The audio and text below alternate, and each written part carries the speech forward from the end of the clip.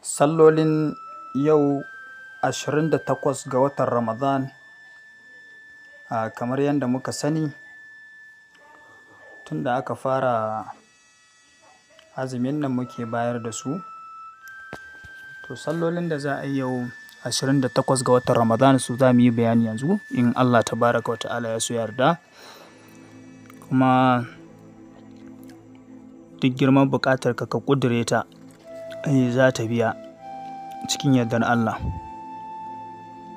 أعوذ بالله السميع العليم من الشيطان الرجيم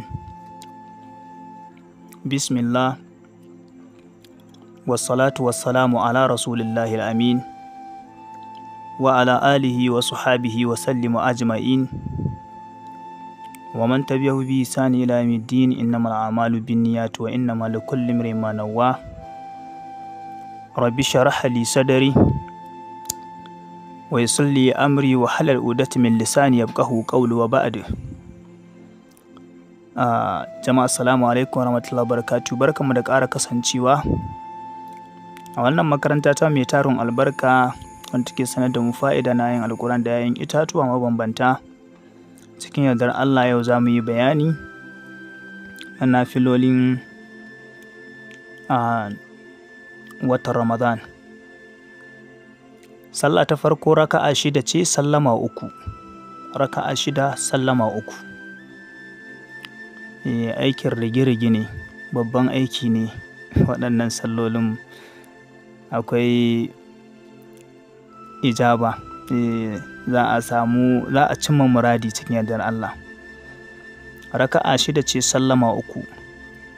Duk bayan fatiha za a karanta kul huwallahu kafa ashirin ma'ana suratul ikhlas kafa ashirin suratul ikhlas kafa ashirin kul huwallahu ahad allahu samad lam yalid wa lam yulad wa lam yakul lahu kufuwan ahad haka za a yi duk raka'a ɗaya za a karanta kul huwallahu kafa ashirin bayan fatiha idan an gama duka raka'a shidan sai a yi wuridin ya rahimu ya rahimu ya rahimu ya rahimu ɗari ya rahimun nan yana da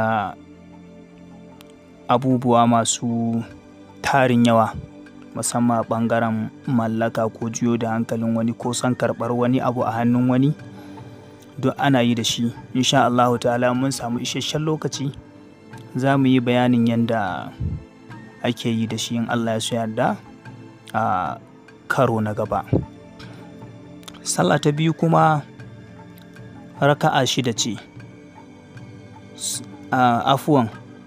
Raka'a tara ce. Sallama biyar. A fahimta raka'a tara sallama biyar. Duk bayan fatiha za a karanta suratul sharh ƙafa uku. Afuwan. Suratul fili kai.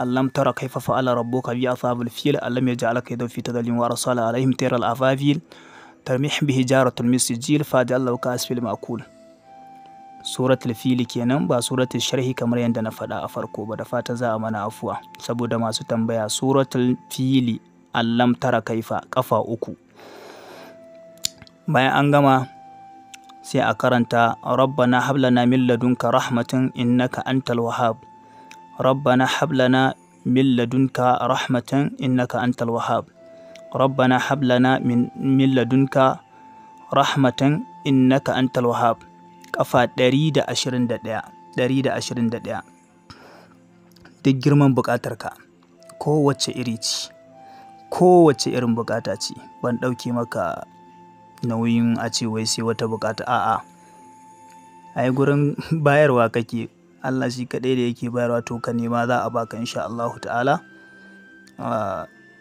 Masu yawan tambayoyi wanda ba mu samu damar duba tambayansa ba a WhatsApp da fatan za a wani haƙuri insha Allah ta'ala.